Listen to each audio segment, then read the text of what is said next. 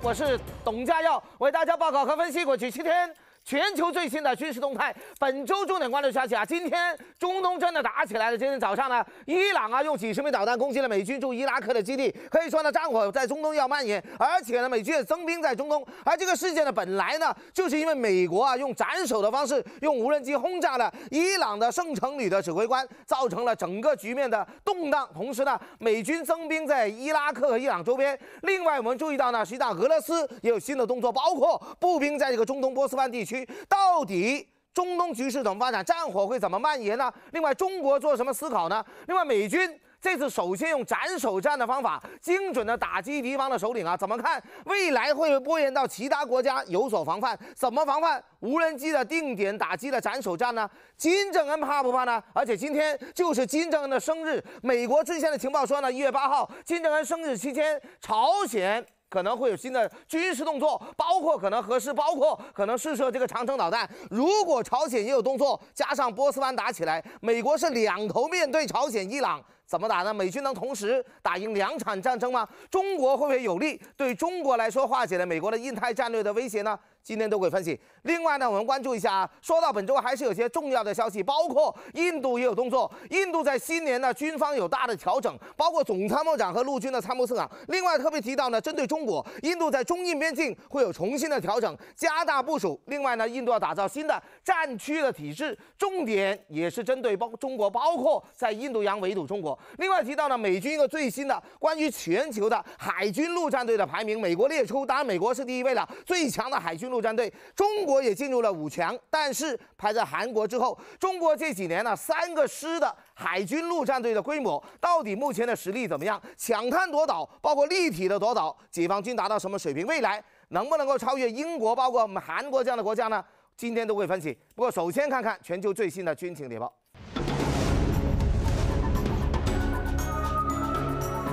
先来看一下全球最新的国际的消息啊！今天最大的国际新闻，当然也是最重要的军事的消息呢，就是在香港时间今天清晨，也是伊朗当地时间的凌晨的时候，伊朗终于向美国动手了。伊朗作为报复呢，伊朗在今天呢连续两波对美国在伊拉克的基地发动了攻击。情报显示呢，伊朗当时呢首先用低对地啊发射了几十枚的导弹，另外也有情报说呢，第二波是用伊朗的战机啊起飞，逼近到伊拉克的这个边境，然后发射了相应导弹、火箭呢攻击。到在美军在伊拉克多个的基地，说是多个，但美军说呢是有两个美军的基地受到了攻击。当时呢刚开始的时候，美军呢反复强调是没有任何美军的伤亡，只是有美军的飞机被炸毁。但是呢也有消息啊，是由伊拉克方面放出了消息说呢是确实证实，在美军的机器内是有八十人左右人死亡。当然，这八十人到底是不是美军，还是伊拉克当地的军人或者民众呢？目前还没有正确确切的消息。但是呢，显然。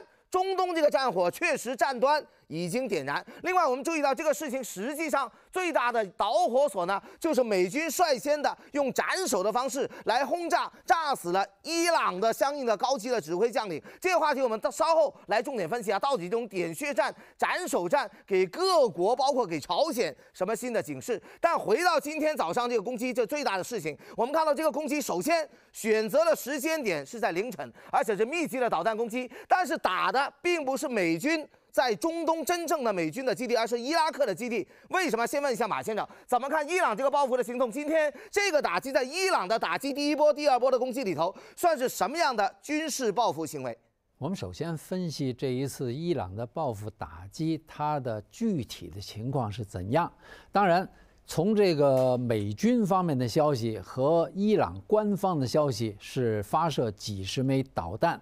去袭击美国在伊拉克的军事基地，那么造成了一些破坏。呃，到底破坏有多大？是损失这个军事设施，甚至是军人的生命有多少？这个有待去这个核实。但是有一点是可以肯定的，就是伊朗这一次对于美国狙杀了他的这个高级的指挥官，是反应。迅速而且强烈，强烈到什么程度呢？就是从伊朗本土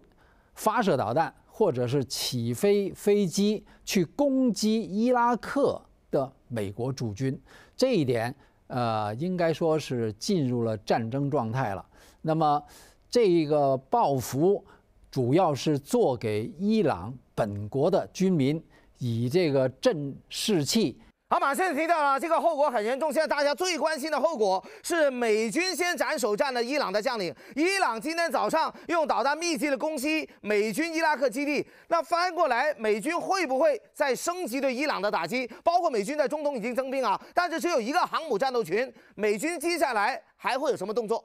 美国的反应应该是这个有利的反应，但是怎样反应呢？啊，绝对不会打地面战争，因为这个是以以美国之短击伊朗之长。伊朗的强项不是在它的武器装备、它的军力多强，而是它的承受力特强，死多少人都无所谓啊！就好像两伊战争，它一次这个肉肉体炸弹冲锋可以死几千人，是无所谓的，没关系，军民由此还是振奋。那这一点恰恰是美国的弱点，美国是死不起人，所以我预测美国的反应，第一应该是迅速的，不能拖；第二应该是有效的，有效的不一定是要杀死很多伊朗人，他是会以他的优势，也就是资讯战，也就是这个网络战，也就是这个轰炸空中优势这种方式来有效的打击伊朗。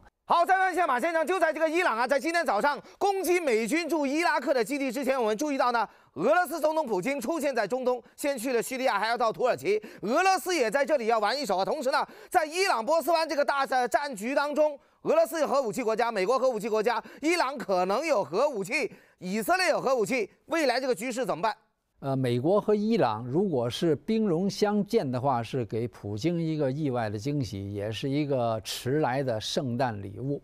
啊，呃，美国和俄罗斯这是死对头，但是美国和俄罗斯呃会打代理人战争，而不会他们两个国家迎头相撞，因为美俄如果是开战的话，没有赢家，但是美国和伊朗开战，俄罗斯在旁边这个煽风点火。获取渔翁之利，这是肯定的。但是，俄罗斯会不会给这个伊朗先进的武器装备，特别是防空导弹？这个恐怕是特朗普在私下要和普京这个讨价还价一番。好，这马先分析到呢，就在今天早上呢，伊朗。攻击了美军驻伊拉克的基地啊！美国、伊朗呢全面有这个交火。实际上，这个事件呢缘起是美国斩首战炸死了伊朗的高级将领。到底这个斩首战给其他国家有什么新的战法的启示呢？特别是中国在目前波斯湾这局势做何军事应对呢？美国为了应对朝鲜，包括伊朗，会不会减轻在印太战略对中国的压力呢？今天呢，稍后啊，我们节目还会关注。不过，首先还是看一下过去七天。亚太区内重要的军事新闻。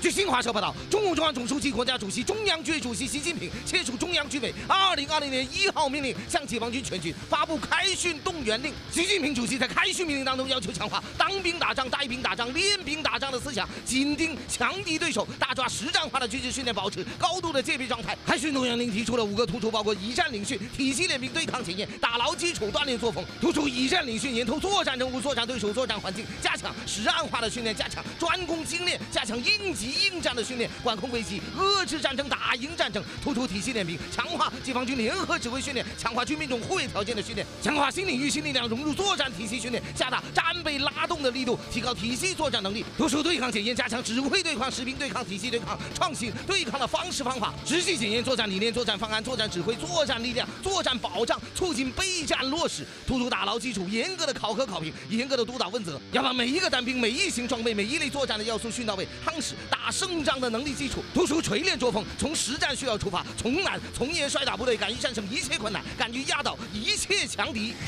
据中国海警局官方微博发布消息，中国海警二五零二舰艇面对一月第一周进入钓鱼岛海域巡航。而日本的情况说，这是继二零一九年十二月三十号之后，新年之后，中国的海警执法船只公务船二零二零年首次驶入钓鱼岛附近的海域巡航。而日本情况说，当天上午十点左右，四艘中国的海警船只相继的驶入钓鱼岛周边的海域，航行大约一小时四十分钟驶出。之后，中国四艘海警舰船才进入钓鱼岛外侧的毗邻区域。而报道说，日本发现其中一艘中国的海警船。上装有类似机关炮的装备。香港的媒体评论说，日本首相安倍晋三在十二月份刚刚到了中国参与第八次的中日韩领导人会议，同时安倍当时就说，没有东海的稳定，就没有日中双边关系的真正改善。安倍这样高调的提到东海，实际上是围绕钓鱼岛的问题，再度挑起了中日之间的海上的争端。而中国海警船在二零二零年开年第一周就再度的驶入钓鱼岛周边的海域巡航，显示显然是在回应安倍的谈话，显示中国在主权海权问题上没有退让的空间。另一方面，日读卖新闻报道，日本考虑把航空自卫队正式改名为航空宇宙自卫队，明确宇宙空间也是日本的国防领域，会加强日本的军事能力和太空遏制力。因为日本的情报显示，中国大陆军方包括俄罗斯正在研发在太空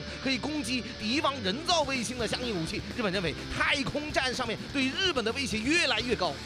据美国的军事网站一出，美国的卫星公司拍到的最新的高清卫星图片显示，中国大陆西安飞机公司位于陕西西安的阎良航空基地上停泊了各类型解放军大型的飞机，包括将近二十架运20战略的运输机和轰六的轰炸机，以及大批的高清的特种侦察飞机。美国的军事网站引述情报说，西飞公司是中国大陆主要的大型的军用飞机的生产商，包括生产最新型的远程的解放军的轰炸机。根据美国这些最新的卫星图片显示，多架解放军的运20的运输机停泊在这个基地，这也是这一型号的运输机。同时出现数量最多的、最密集的一次。美国的情报分析说，解放军的 U-20 运输机对中国发展海外战略甚为重要，因为中国可以无需再依赖外国大型的飞机展开解放军跨国的远距离的运送超大规模的军事资源，同时为中国大陆越来越多的海外基地和军事行动提供高速的后勤的保障。同时，美国的卫星图片也拍摄到，在这个陕西阎良的基地当中，还停泊了十七架轰六的轰炸机，还有五架解放军空警五百的空中预警机，当中有一架预警机是以运气的双引擎运输机作为平台的试验机，被认为是未来给中国大陆解放军的航空母舰使用的舰载预警机。这意思话，也就是舰载预警机零幺型的雏形。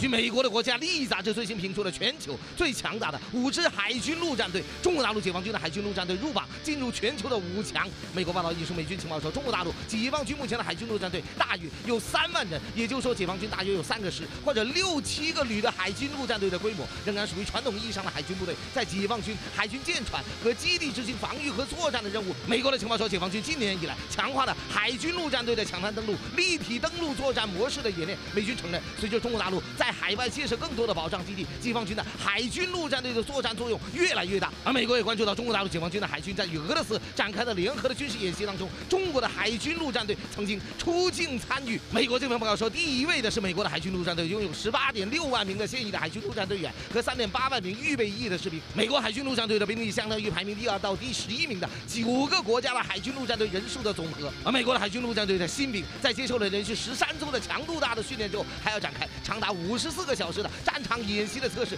第二位呢是俄罗斯的军步兵，擅长登陆作战。第三位是英国皇家海军陆战队，有七千名的士兵。第四位是多年以来一直由美国训练的韩国的海军陆战队，韩国的海军陆战队部队达到二点九万人，主要是快速反应攻击部队，为在朝鲜半岛军事行动当中提供韩国与美军的战略预备力量。美国最新的情报评估说，一旦爆发朝鲜半岛的突发情况，这次韩国的海军陆战队可以在二十四小时之内部署到朝鲜半岛任何的地点，执行最危险的攻击的任务。香港军事部团指出，韩国是三面临海的半岛国家，韩国军方过去和未来地面战争离不开海军大力支援，特别是美韩军事同盟七十年来战争和军事演习的历史当中，强调海军陆战队的重要性。而中国以往一直是典型的大陆国家，解放军七十年前登陆海南岛和金门岛的木船打战舰的历史，都是当时的不对称战争的模式。不过这几年中国海军的两栖舰船下饺子一样大量的服役，可见十年到二十年之内，中国的海军陆战队的全球排名肯定会直线上升。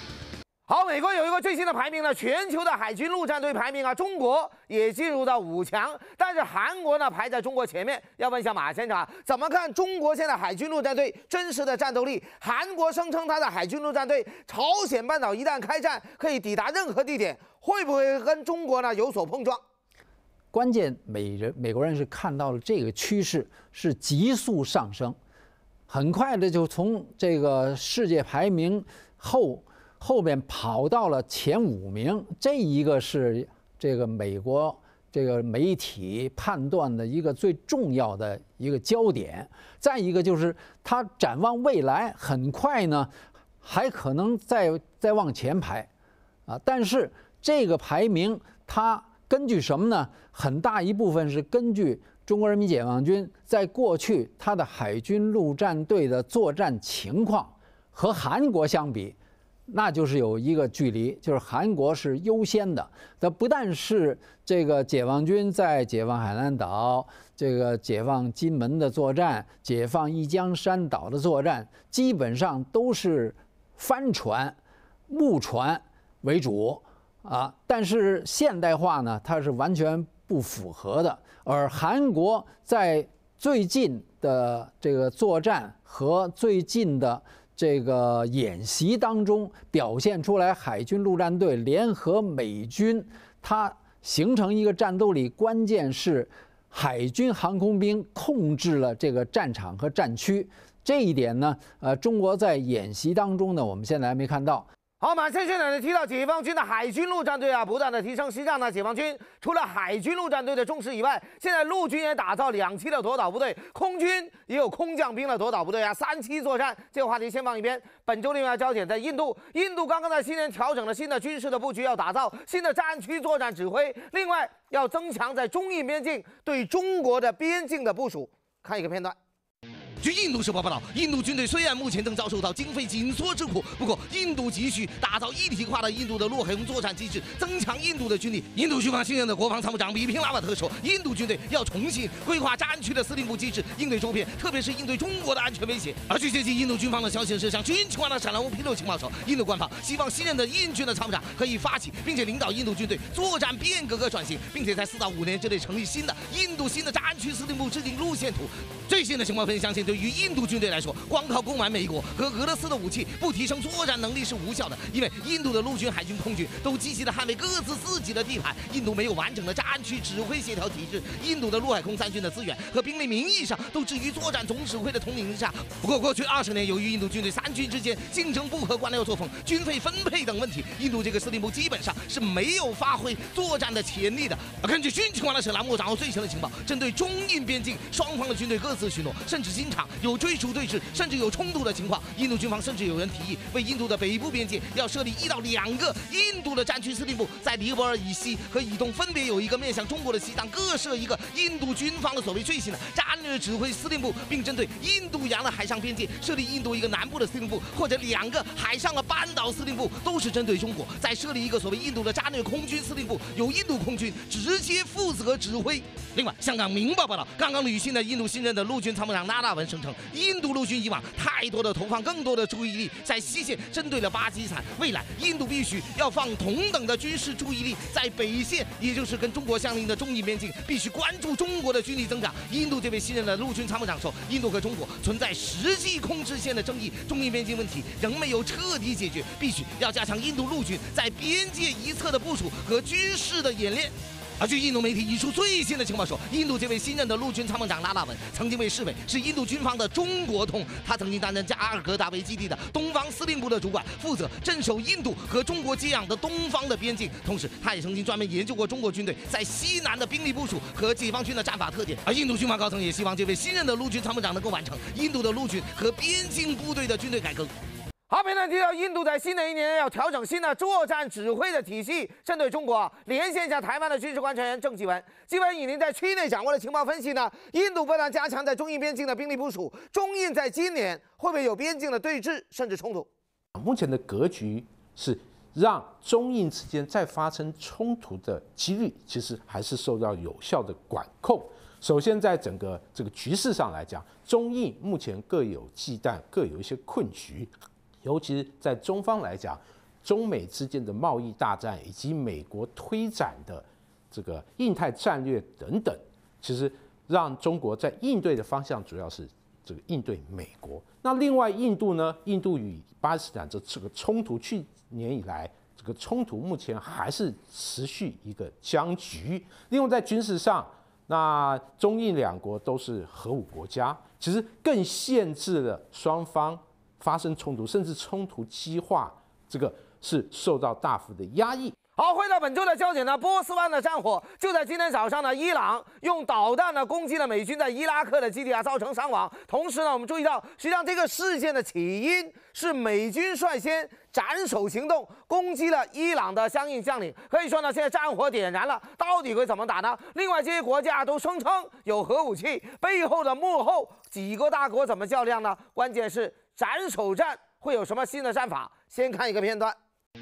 据英国 BBC 报道，伊拉克军方的安全媒体小组公开的发表声明，承认伊拉克的巴格达国际机场曾遭受三枚的火箭炮密集的击中。而在这场密集的火箭炮的攻击之后，伊拉克国营电视台报道也承认，伊朗革命卫队圣城军的将领苏莱曼尼以及真主党的创办人伊拉克人穆罕迪斯也在这个攻击密集的攻击当中身亡。而在这场攻击的当天，曾经有情报消息披露说，是三枚的火箭落在了机场货运的大厅，导致两部汽车被当场摧毁。有多人死亡。不过，在这个攻击之后，曾经有情报披露说，这是美军直接指挥了美军的无人机以火箭的，包括密集攻击的导弹，以阵雨方式来轰炸，来摧毁了车队。美国广播之后也证实，这次是美军的无人机的空袭行动，是由美国总统特朗普亲自下令进行的。特朗普声称，下令击杀苏莱曼尼的目的不是发动战争，而是要阻止战争发生。最新情况比如说，伊朗已经强硬的回应，伊朗必定会对美国，包括美军在中东的利益展开报复和攻击。而美军现在目前在中东的顾问大约有五千名的军方人员，在伊拉克。以目前最新的局势，美军宣布增援三千五百人的军事部队前往中东地区，同时美军会部署在伊拉克、科威特和区内其他地方，随时作战，使得中东的紧张局势急速升温。情报披露说，这次由特朗普亲自下令，由美军的无人机执行斩首，直接击杀的伊朗的苏莱曼尼，是从一九九八年开始成为伊朗的圣城军的领袖，率领圣城军负责伊朗海外军事突击行动。他在叙利亚、伊拉克军事战争当中担任关键指挥官角色。而另外，伊朗的圣城军还协助伊拉克打败了极端组织 IS。同时，苏莱曼尼在中东散播伊斯兰影响力上是有重要的军事影响，在伊朗和海外军事威望非常之高。而伊朗革命卫队司令阿布哈姆斯已经表示，伊朗必须保留追究美军击杀斩首苏莱曼尼的军事责任，并声称伊朗已经锁定了美军在中东的美军三十五个重要目标，伊朗随时惩罚区内所有的美国人和美国军人。而面对伊朗强硬的带威胁的军事回应，美国总统特朗普在社交媒体高调的发文回敬说：“美国警告伊朗不要轻举妄动，美军已经瞄准了五十二个伊朗的目标。如果伊朗胆敢袭击美国人或者美国的资产，美国将全部予以还击。”特朗普没有说明是哪些伊朗的目标，不过强调部分对伊朗和波斯文化极为重要。美国总统特朗普高调的警告伊朗说：“一旦要对伊朗动武的话，会对伊朗造成严重和迅速的军事打击。”另外，伊拉克国会也刚刚通过了实际上没有约束力的决议，要求所有外国军队要离开伊拉克。同时，伊拉克国会也敦促禁止外国的军队以任何理由再使用伊拉克的海陆空的军事领域。同时，台湾的《中国时报》特别评论说，波斯湾地区是全球重要的能源的航道，而且这个区内是火药桶，战云密布的话，非常的危险。因为区内像以色列有核武器，伊朗正在秘密的发展核武，包括牵涉到这些利益当中的美国、俄罗斯、中国的利益都在这个波斯湾地区有能源的利益。同时，这些大国美中俄都是拥核国家，各方如果在这里要争夺、要开火，后果非常严重。好，片段提到今天的焦点呢，当然就波斯湾的战火。一方面呢，美国首先用斩首战轰杀了相应的伊朗的司令；另外呢，伊朗就在今天早上用导弹攻击了美军在伊拉克的相应的阵地。可以说呢，双方已经开战，而且伊朗扬言未来还有动作，甚至要主动的攻击。特朗普在美国的目标，美国的物业。另外呢，美国肯定有反手的机会。同时注意到，区内要是真的全面开花开战的话，各国怎么准备？特别是美军率先的斩首的战法，给各国什么样的思考？今天都会继续来分析啊。稍后来听听呢，美国和香港的分析，还要关注一下一月八号，今天是金正恩的生日。之前美国的情报说，金正恩有可能在这一两天有新的挑衅，或者核试。或者射导弹，如果美国同时面对伊朗和朝鲜怎么办呢？稍后回来分析。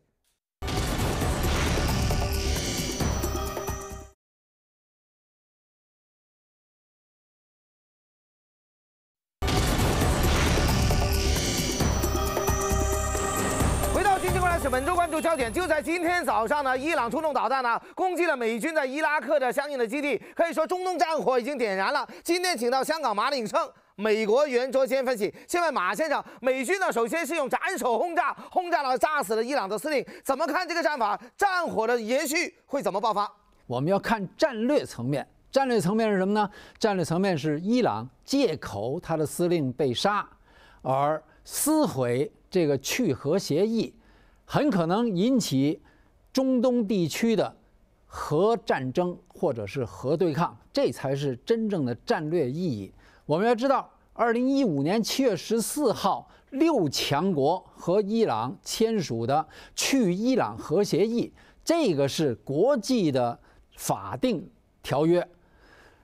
中国、美、英、法、德加上俄罗斯六个强国，也就是五联合国五强加上德国这个强国，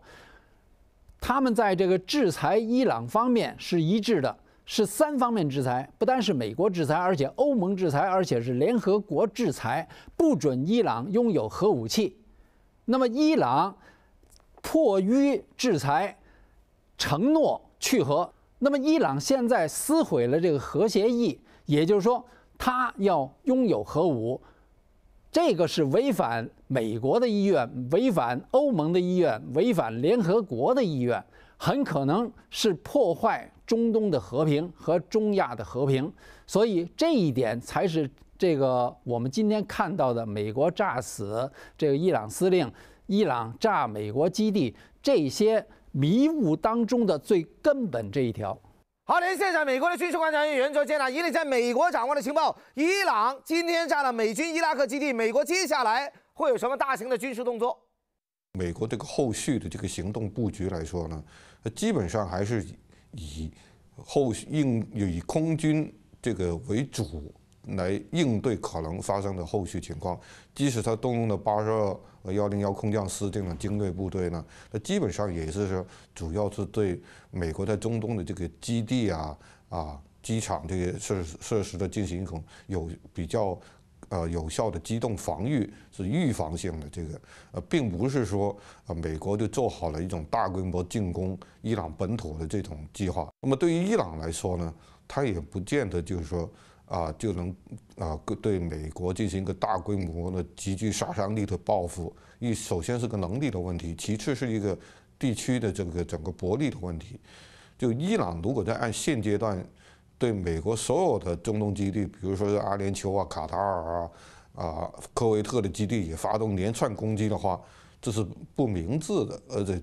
这些就会把这些国家推到美国那一边，对伊朗整个外交也是没有一点好处。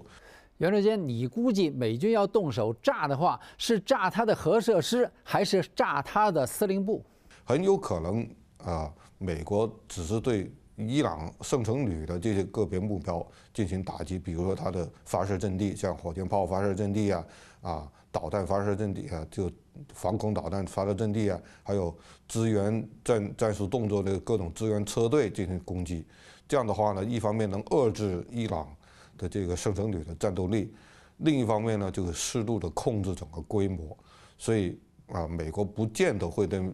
伊朗本土的一些核目标或者高级人物进行攻击。至于说对伊朗的高级宗教人物进行攻击，这个是其实是效果是很低的。因为对于宗教人物来说呢，即使一两个去世了，他换一个是很容易的事情，这并不会从根本上解决问题，这只会加深这个各种各样的矛盾。好，问一下马先生啊，中东这个战火已经点燃了，不管是斩首战法还是轰炸基地，对于中国来说，怎么观察区内这个战火？中国作何准备？我们估计伊朗它的袭击呢，一个是呃挑软的打，比如说挑这个航运线，这个打它的商商船。哎，这比较好打。再有一个呢，是这个杀他一些这重要的人物，就不是在美国境内，而是在国外的一些重要人物，或者是，呃，轰炸，呃，这个自杀性的轰炸他的这个经济的要害部门。那么美国呢，也是扬长避短，呃，最好是用这个空中袭击、隐形飞机、这个长城的导弹。呃，在做境外的轰炸，甚至是用软杀伤，也就是发挥它的网络战、电子战，使整个伊朗这个陷于这个长时期的这个经济危机，也就是像当年炸这个南斯拉夫一样。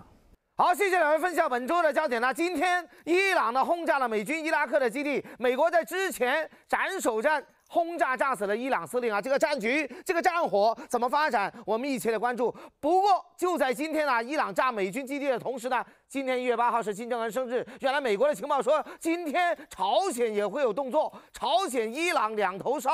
特朗普怎么办？进入军情互动。回忆一下军情观的首完美问题，大家注意到，今天一月八号呢是金正恩的生日啊。之前美国多次的发出警告和情报说呢，可能今天前后朝鲜会有新的军事动作，包括核试，包括试射长城导弹。网友问一下马先生啊，现在伊朗和美国已经互相的轰炸，如果朝鲜这两天也来插一手，也搞动作，特朗普怎么办？美国作为一个两洋性大国，从来都不怕打两场战争，是同时打。第二次世界大战，他在太平洋打日本，他在大西洋打德国，啊，现在如果是伊朗和北韩对美国进行核威慑的话，这两个国家档次太低太小，也不会打核战争。那么再有一个，他是绝对不会和这两个国家打地面战争。那么同时打两场战争，他用这个隐形战机，用这个啊导弹，就可以把这个战争局限在一个地步和局限在一个时间，打一场速决战。